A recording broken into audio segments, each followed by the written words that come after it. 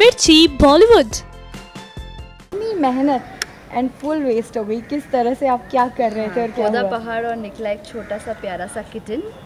और वो भी एक गाना गाता हुआ ट्विंकल ट्विंकल लिटिल स्टार तो तारा को कैसा लगेगा? बहुत इरिटेटिंग लगा। लेकिन उसे शायद अपना बचपन याद आ गया।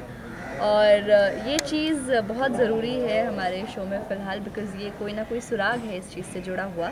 तो देखते हैं इस पज़ल को कौन सॉल्व करता है, अंजलि या तारा? मैं जब बात होती है आपकी शो की तो इट्स ऑलवेज मिस्टीरियस या सो आज जो झगड़ा हो रहा है उसके पीछे भी कुछ तो है।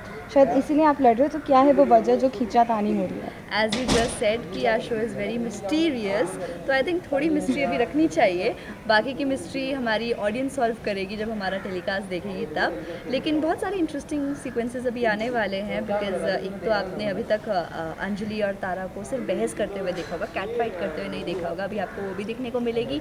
एंड एज आई सेड बहुत ही इंटरेस्टिंग सा किटन है। गाना गाता हुआ जो कि अभी अभी हमारे सेट पे आया है वो भी आपको देखने को मिलेगा। सो स्टे ट्यून्ड वेल लेकिन अंजलि की हम बात करें तो उसकी हालत ऐसी बेहाल क्यों पट्टी वट्टी चढ़ी है निशान है ये तारा एक्चुअली अब वो अंजलि है या वो आरोही है ये दीप को नहीं पता वो कंफ्यूज है। And for Tara she is Anjali.